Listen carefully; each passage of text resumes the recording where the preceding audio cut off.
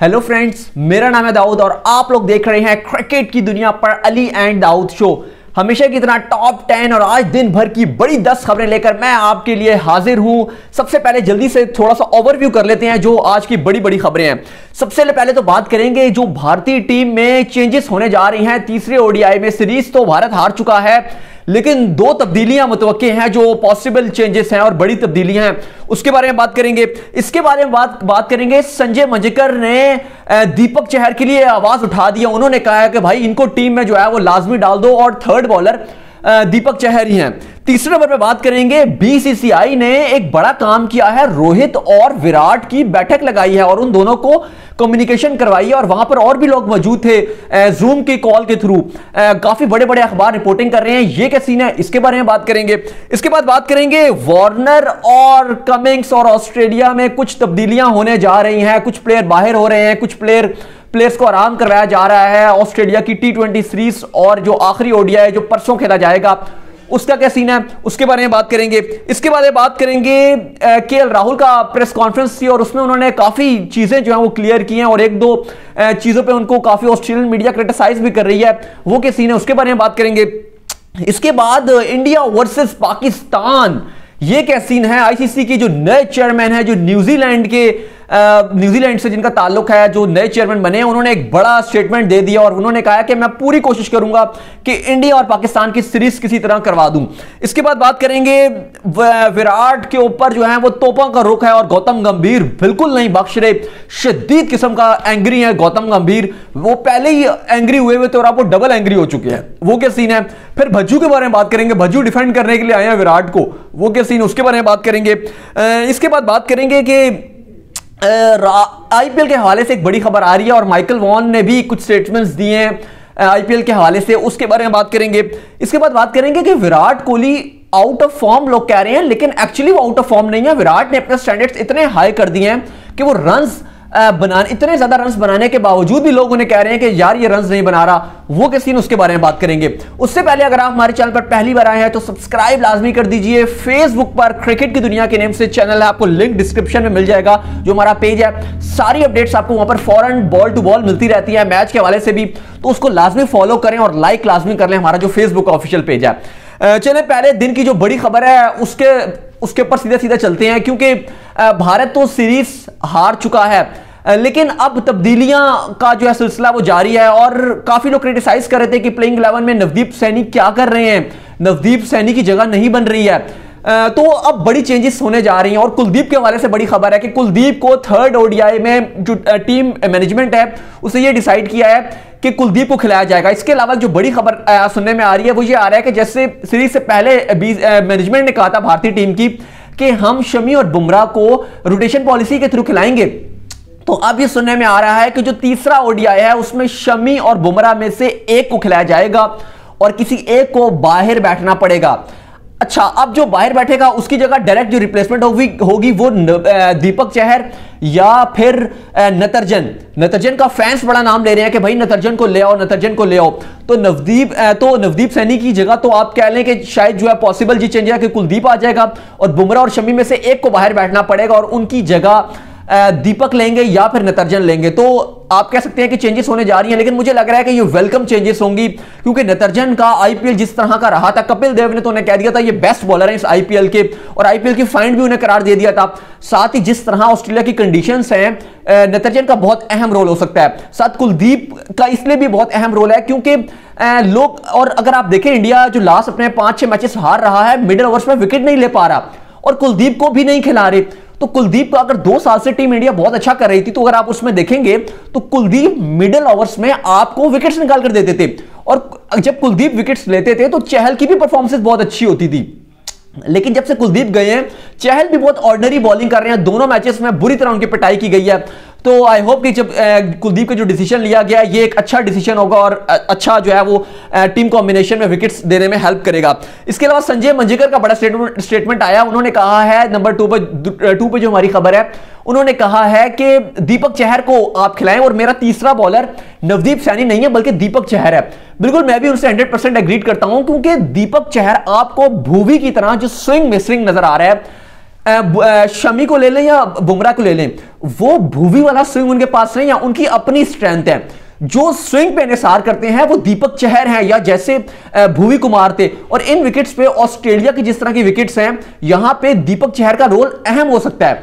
और जो team India miss कर रहा होता है या अक्सर विराट कह रहे होते हैं कि हमारे पास बैटिंग एंड तक नहीं जा रही है तो दीपक चहर बैटिंग भी करके आपको दे देते हैं। तो दीपक चहर की जगह बनती है, संजय मंजेकर ने साफ़ कह दिया और बल्कि मैं तो ये चाह रहा था कि जो दो मैचेस खेले गए हैं, इसमें आप दीपक चहर के साथ जाते और थर्ड चेंज में आप जो है वो नतरजन को खिला देते। चले आपने पहले में सैनी को खिला दिया, दूसरे में आपको दीपक के साथ जाना चाहिए था और तीसरे में फिर आप नतरजन के साथ चले जाते और बाकी बेशक आप दोनों अपने जो मेन बॉलर वो रखते। और बरल कुलदीप को खिलाना लाजमी लाजमी है, क्योंकि अगर कुलदीप नहीं खेलेंगे तो मिडिल ओवर्स में आपको विकेट्स नहीं मिल सकेंगी। तीसरे नंबर पर खबर आ रही है, भारतीय काफ़ी सारे अखबार हैं इंडियन मीडिया के काफ़ी अथेंटिक सोर्सेज हैं। जो ये कंफर्म कर रहे हैं कि बीसीसीआई ने विराट की, रोहित शर्मा से कम्युनिकेशन कराई है वेया जूम कॉल या किसी भी ऑनलाइन मीडियम यूज़ किया गया है, जिसमें रवि शास्त्री भी मौजूद थे। क्योंकि विराट ने कहा था कि हमें, हमने, जो बीसीसीआई ने हम, मुझे ईमेल किया था और उस ईमेल में ये लिखा हुआ था कि हमने हमने रोहित को प्रॉस एंड कॉन्स बता दिए हैं कि आपकी इंजरी के आप नहीं खेलें आगे।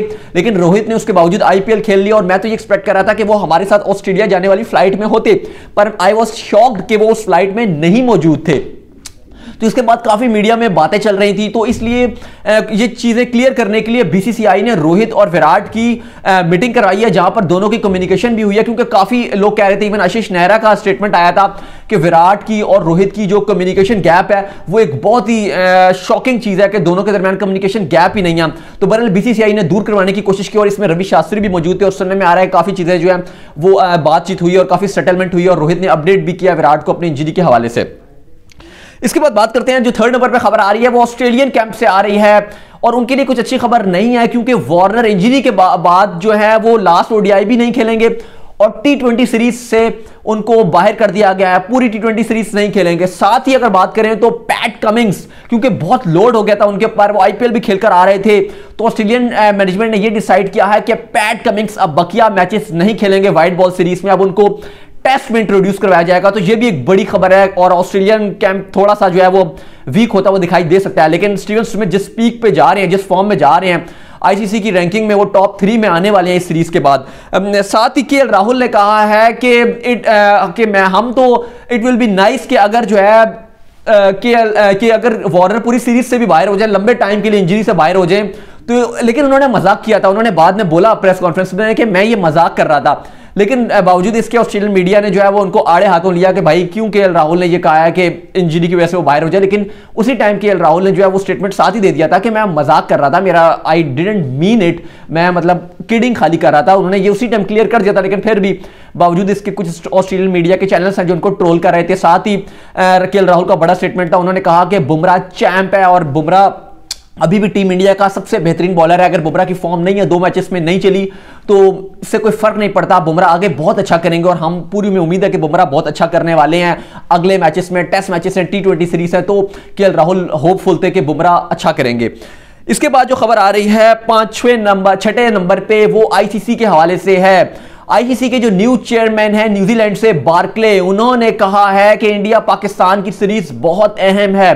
उन्होंने कहा है कि मैं तो ये प्रॉपर ड्रीम देख रहा हूँ कि मैं इंडिया पाकिस्तान की सीरीज़ ज़रूर करवाऊँगा और साथ उन्होंने कहा है कि मैं बीसीसीआई से भी बात करूँगा पीसीबी से सेपरेट बात करूँगा बीसीसीआई से अलग बात करूँगा और दोनों बोर्ड्स को रजामंद करूँगा कि आप खेलें क्योंकि ये बहुत बड़ा टूर्नामेंट होता है इंडिया पाकिस्तान जब भी खेलते हैं।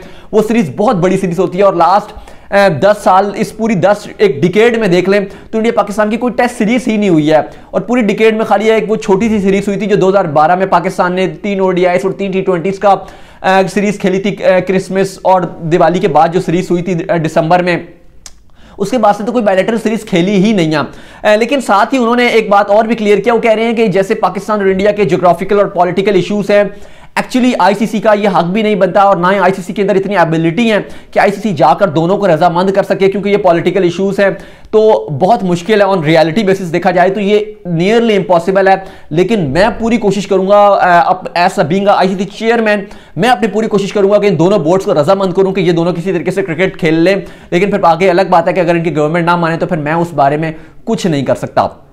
क्योंकि जो आईसीसी का जो आईसीसी का जो लास्ट वर्ल्ड कप हुआ था 2019 का, उसमें कुछ 27 करोड़ से ज़्यादा जो टीआरपी मिली थी व्यूअरशिप मिली थी इंडिया पाकिस्तान के मैच को, और वो रिकॉर्ड में भी लिखा गया था आईसीसी के जो all time best highest rating वाले मैचेस हैं, उनमें भी इसका नाम शामिल था। तो जब भी इंडिया पाकिस्तान का कोई भी नया मैच होता है, वो नए रिकॉर्ड ही तोड़ देता है। चलिए इसके बाद बात करते हैं छठे आठवें नंबर पे। गौतम गंभीर ने विराट कोहली को वर्स्ट और पुअर कप्तान करार दे दिया गया, दे दिया है इंडियन क्रिकेट की हिस्ट्री में। उनका कहना है कि विराट कोई उनकी क्लूलेस कैप्टन है। साथ उन्होंने कहा है कि वो अपने फेवरेट जैसे आरसीबी के प्लेयर्स को ज़्यादा सपोर्ट दे रहे होते हैं। स्पेशली अगर बात की जाए तो ये उनकी बात थोड़ी सी ठीक भी है कि नवदीप सैनी को वो लगातार सपोर्ट किए जा रहे हैं। पीछे नतरजन बैठे हैं, दीपक चेहर बैठे हुए हैं, लेकिन बिल्कुल ट्रस्ट शो नहीं किया। पहला मैच इतना बुरा गया सैनी का, फिर भी दूसरा खिला दिया गया। फिर चहल को एक्स्ट्रा सपोर्ट करते हैं। ठीक है, चहल को आप सपोर्ट करें, वो world one of the best spinner हैं, लेकिन कुलदीप को दूसरी तरफ़ बिल्कुल सपोर्ट नहीं कर रहे। और भी काफ़ी सारी जो है वो बहुत ही बुरी तरीके से आड़े हाथों लिया, लेकिन गंभीर थोड़ा सा ज़्यादा विराट को ओवर क्रिटिसाइज हो जाते हैं। ठीक है, आप क्रिटिसाइज कर सकते हैं, लेकिन हमने देखा है कि गंभीर थोड़ा सा पर्सनल भी हो जाते हैं विराट के साथ, क्योंकि उनकी फाइटिंग भी हुई थी, हमें पता है आईपीएल में भी हुई थी। तब से आज का दिन है कि हमने गौतम गंभीर से कभी भी अच्छे वर्ड्स नहीं सुने विराट के हवाले से। ठीक है, विराट की कप्तानी पर सवाल उठ रहे हैं, सब उठा रहे हैं। लेकिन गौतम गंभीर थोड़ा सा ज़्यादा ओवर क्रिटिसाइज कर देते हैं। आप क्रिटिसाइज करें, लेकिन ऑन द गेम अगर आप करें तो वो बात अलग आ जाती है। लेकिन फिर गौतम थोड़ा सा ज़्यादा क्रिटिसाइज कर जाती है। लेकिन कुछ कुछ बातें गौतम की ठीक भी हैं। इसके बाद साथ ही जो है, वो भज्जू भी आ गए हैं विराट को जो है, वो डिफेंड करने के लिए और गौतम की इस डिफेंड को गौतम की जो स्टेटमेंट है, उसको आप कह सकते हैं कि उन्होंने सेकंड किया। और भज्जू ने कहा है कि देखें एक प्लेयर आपको ऑस्ट्रेलिया में सीरीज़ नहीं जितवा सकता। विराट ने रन भी बनाए आखिरी मैच में, लेकिन वो कहते हैं कि जब आपके बॉलर्स उस तरह से परफॉर्मेंस नहीं दिखा रहे, बुमराह अच्छी गेंदबाजी नहीं कर रहे, जो आपके बेस्ट बॉलर हैं, बल्कि वर्ल्ड के बेस्ट बॉलर हैं, अगर वो अच्छी गेंद नहीं डाल रहे, अगर आपके बॉलर्स कुछ अच्छा खास नहीं करके दे रहे बैटिंग में ऊपर से माइंग उतना अच्छा नहीं कर रहे, शेर सैयर की वो फॉर्म नहीं लगी हुई माइंक हो गए, धवन ने पहले मैच में किया था, दूसरे में उन्होंने भी कुछ खास नहीं किया। तो उनका कहना था कि अकेले विराट क्या करेंगे? ऐसा टीम आपको कुछ करना पड़ेगा और ऑस्ट्रेलिया में फ़िलहाल टीम इसलिए स्ट्रगल कर रही है क्योंकि पूरी टीम उस तरह से परफॉर्मेंसेस नहीं दिखा रही।